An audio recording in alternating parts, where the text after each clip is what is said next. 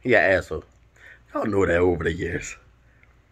The reason why I always continue to stand by D no matter what he put me through is because it was good qualities that he had that was really pivotal.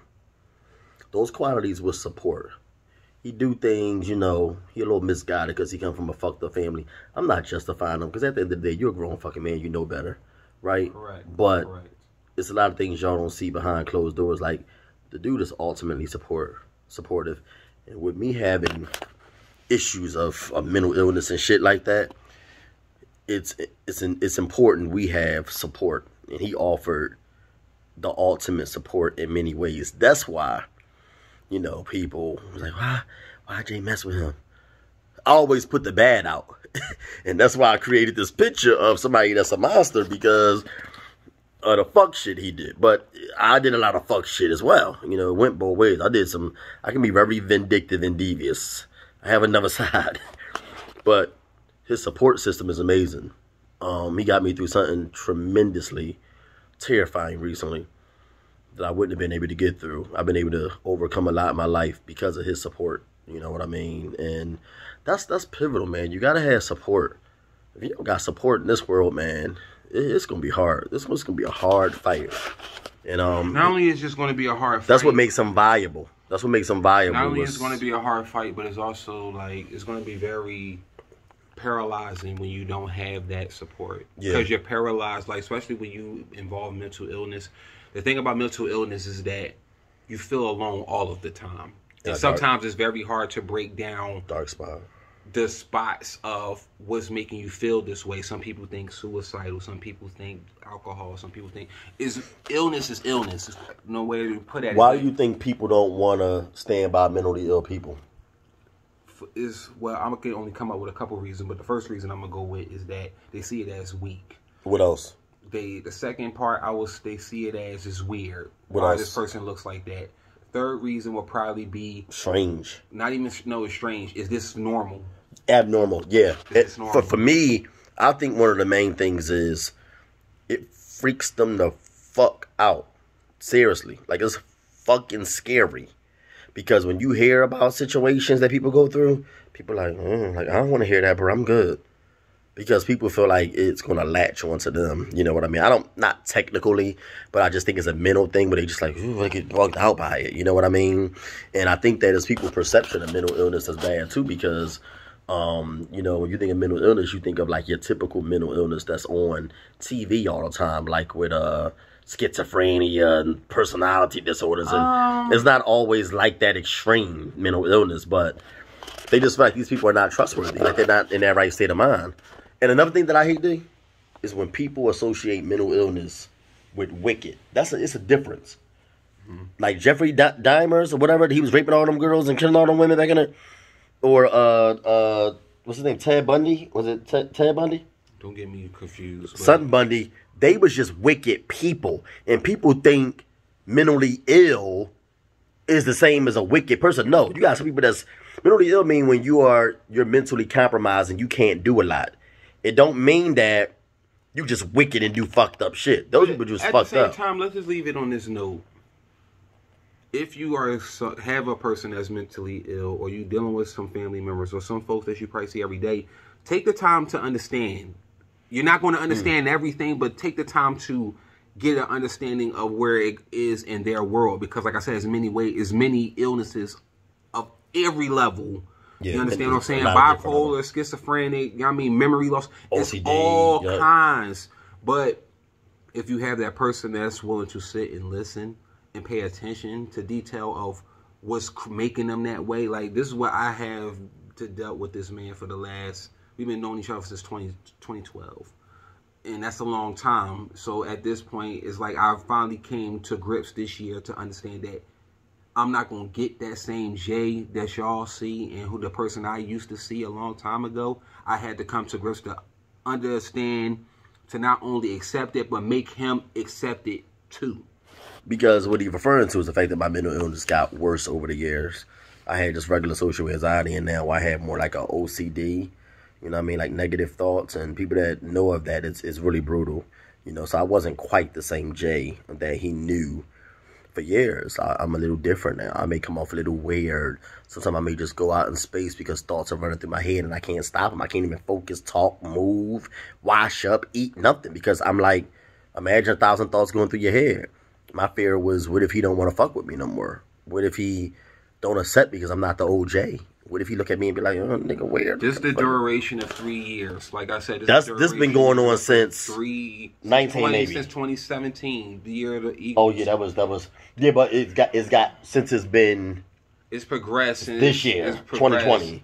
It's Yeah. progressed. Like And we just I explained to him what it was, and he it may be uncomfortable for him because I don't know what's really going on in his mind. I can only go on what he showed me, but he's tried to be accepting of it. And as he said earlier, it's all about understanding, trying to understand people with mental illnesses because when you understand them, you know how to better deal with them and navigate and know what their navigate weaknesses are. navigate to their reality.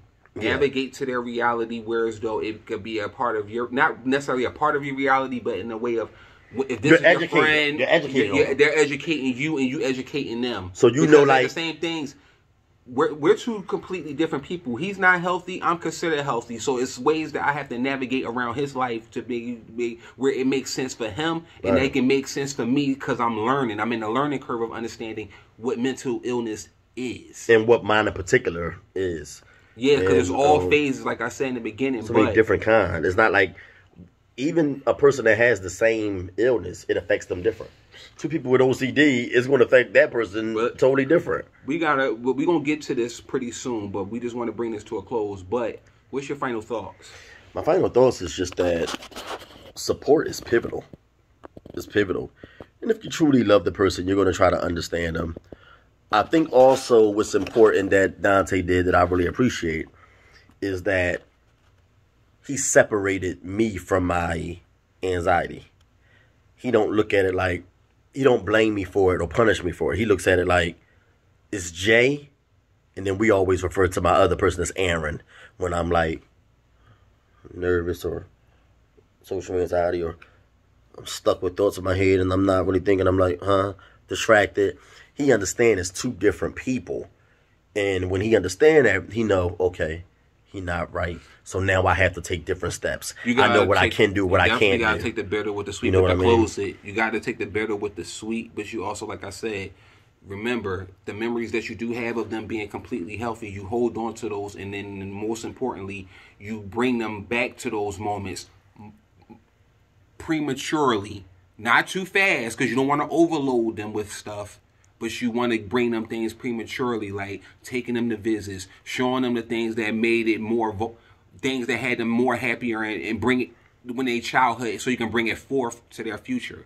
yeah. This is very important, y'all. So But under, understanding and listening and asking questions can help you better, you know, do what's best for the, your mentally ill friend, family, brother, sister, mama, daddy, whatever. Understanding. If you don't have understanding of anything in life, you're going to be ignorant to it. You know what I mean? Like if you understand it or bias. or bias, you know, you you you gonna you gonna know how to work it. It's like driving a car. The more you understand about cars, the more you know what the do's are and the don'ts are. If you don't know how to function a car, you may do something that's going to harm your car or damage your car. So it's the same thing with mental illness. You just got to know how that person is, what their triggers are. D, um, he would always say back in the day, like, I don't want to go to the Eagles game with you because you might be a little nervous with your social anxiety. I don't really have that issue now too much. You know what I mean? But because he understands how my anxiety work, he was able to avoid putting me in a situation that may compromise me and damage our relationship and friendship. and making you know him saying? feel bad because And one thing about me- mental illness and OCD is that constant thought of someone telling you that you ain't shit over and over and or over and the, the over again, or the fear of failing. Or a failure to your Yeah. family, or a failure. Our to biggest yourself. fear is, oh, I look weird. What if he judged me, or what if she judged me, or what if she don't want to be my friend anymore? What if he don't want to be my friend anymore? You need that. They need loyalty and ultimate support, man. And if you don't have that, they're gonna go down. where It's a really dark, lonely place. It's one thing about mental illness. It ain't like a job or a career or a marriage or relationship where you can share it with everybody. Yo, Dante, I got a uh, marriage situation with my girl. We he can relate to that. Everybody can relate to that. but telling them you got thoughts running through your head, who the fuck don't understand that? You know what I mean? So when you have somebody that is supportive, it makes a difference. And for that, I'm thankful, you know, for him for that. difference. I'm really thankful for him for that. You know what I mean? Um, that's a good quality he has, despite all the bad ones that y'all know about. Um, but um, anyway, we're gonna bring the video to a close. It's all about support, guys. Support, support, support, Support. and understanding. Support and understanding people who are mentally ill. It make a tremendous difference. As I said recently, I'm bringing it to a close. I was able to do some things I never thought I would be able to do because of support and understanding. I was afraid to even see him for a very long time because I didn't think that he was going to understand me. But we're gonna get to that shit another video because we're gonna talk about that a little bit. But in the meantime, pretty boy gotta go somewhere. Love y'all. Later.